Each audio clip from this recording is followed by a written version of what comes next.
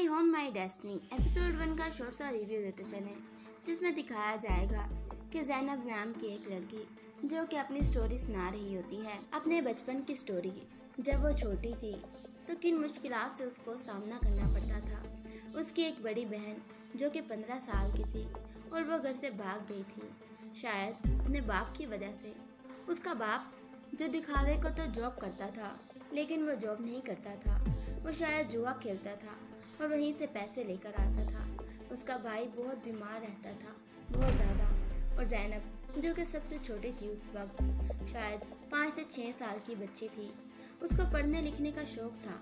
उसके भाई चाहता था कि मेरी बहन बड़ी होकर लॉयर बने और एक ऐसी लड़की हो जो सबकी मदद करे और कहीं पर भी उसको सर झुका करना चलना पड़े।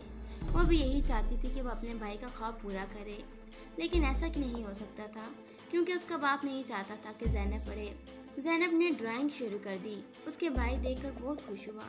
अपनी माँ को बताया कि, अपनी माँ को बताता है, देखें, जैनब ने ड्राइंग शुरू कर दी है। बहुत अच्छी ड्राइंग करती है। उसकी माँ देखकर खुश होती है। वाह जैनब ने अच्छी ड्राइंग की है। लेकिन वो जैनब से कहती है कि इसको छुपा दो। तुम्हारे बाबा आने वाले हैं।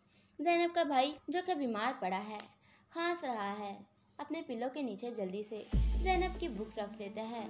और जैनब जो कि सहमी बैठी है, जल्दी से ही दरवाजे पर बेल बजती है। और जैनब जो कि अपने कलर्स रखने ही वाली होती है, वो अपनी शर्ट में सारे कलर छुपा लेती है और वहीं पर डरी सहमी बैठ जाती है। उसका बाप आता है और आकर जैनब के पास सोफे पे बैठ जाएगा। जैनब से कहेगा, मुझे पानी पिलाओ। जैनब चुपचाप वहाँ पे बैठी रहेगी। वो चिल्लाएगा। तो जैनब जैसे ही उठेगी सारे कलर्स वहीं पर ज़मीन पे गिर जाएँगे। जैनब का बात बहुत ज़्यादा खफा होगा। सारे कलर्स उठाएगा और अपनी बीवी से कहेगा कि तुम्हारी वजह से मेरी पंद्रह साल की बच्ची भाग गई। तुम उसका इतना बेख्याल नहीं रख सकी। मैंने कहा था इस घर में कभी किताबें नहीं आएँगी। लेकिन तुम लोगों ने फिर भी ये सब किया। वो अपनी बीवी को मारने लगता है। तो उसका बीमार बेटा उठकर अपनी माँ को बचाता है कि इसमें अम्मी का कोई कसूर नहीं है। उनको मत मारे। वो उसको जैसे ही बचाएगा तो बाप अपने बेटे को भी मारेगा। और इतने में ही जैनब, डेरी सहमी जो खड़ी हुई है, वो कहेगी अपने बाप से, मेरी बात सुने और अपने भाई के पिलो के नीचे से अपनी बुक निकालेगी। वो बुक निकाल के अपने बाप को देगी और कहेगी, ये ले मेरी बुक्स। मैं आज के बाद कभी नहीं पढ़ूँगी। मेरा आपसे वादा है, लेकिन आप भाई को मत मारें। उनका कोई कसूर नहीं है। उसका बाप वो सारी बुक्स उठाता है और उन सबको आग लगा देगा। सब लोग बहुत ज़्यादा गमज़्यादा हैं और अगले ही दिन दिखाया जाएगा कि जैनब का भाई जो कि बहुत बीमार है, वो बहुत ज़्यादा बीमार होता है। उसकी माँ आती है और उसको कहती है, बेटा पानी पी लो, क्योंकि उसको बहुत बुरी तरह से खांसी लगी हुई है। वो पानी देती है अपने बेटे को। बेटा, पानी नहीं पी रहा। माँ बहुत बार कह रही है, लेकिन अचानक से बेटा खांसते खांसते चुप हो जाता है। जैनब भी दूर खड़ी देख रही होती है। उसका अपने भाई से बहुत मोहब्बत है। वो जैसे ही देखते हैं और अपने बेटे को बुलाने लग जाती है। लेकिन बेटा कोई जवाब नहीं देता, क्योंकि बेटा मर चुका है। इतने में ही जैनब का बाप आता है। उसके हाथ में कुछ फ्रूट है, लेकिन वो भी जैसे ही देखता है।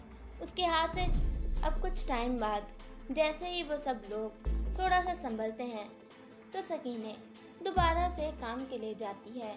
वो जिस घर में काम करती होती है, वहाँ पर जाकर जैनब को बहुत सुकून मिलता है वो बहुत खुश होती है उस घर में जाकर। क्योंकि वहाँ की मालकिन जैनब के साथ बहुत प्यार करती है। जैनब को उस घर में बहुत सुकून मिलता है और तभी वहाँ पर सकीने जिसकी तरफ़ काम करती है, वो औरत सकीना से कहती है कि मुझे जैनब बहुत ज़्यादा पसंद है। और मैं चाहती हूँ कि जैनब मेरे साथ ही रहे। उसका नाम नरमे है और नरमे सकीना से कहती है कि जैनब को मुझे दे दो। मैं उसका बहुत ख्याल रखूँगी। वो हमेशा एक परियों की तरह ज़िंदगी गुजारेगी और मैं उसको बहुत अच्छे स्कूल में पढ़ाऊँगी। तुम्हारी सोच से भी ज़्यादा अच्छे। सकीना घर जाती है और अपने शोहर से बात करेगी। उसका शोहर, जो कि पहले ही बहुत लालची इंसान है, जैनब सोच रही थी कि शायद वो कहेंगे कि मैं अपनी बेटी किसी को बेटी हमेशा अपने पास रखूँगा। लेकिन ऐसा कुछ नहीं होता।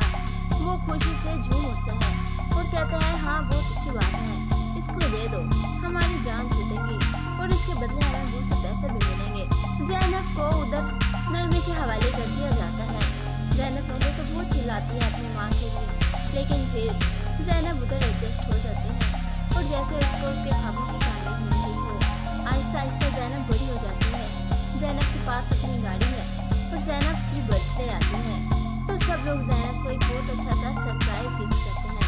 उसकी बर्थडे पार्टी बहुत अच्छे से अरेंज की जाती है। वहाँ पर जैनब की माँ आ जाती है सकीने और जैनब उससे मिलकर बहुत खुश होती है।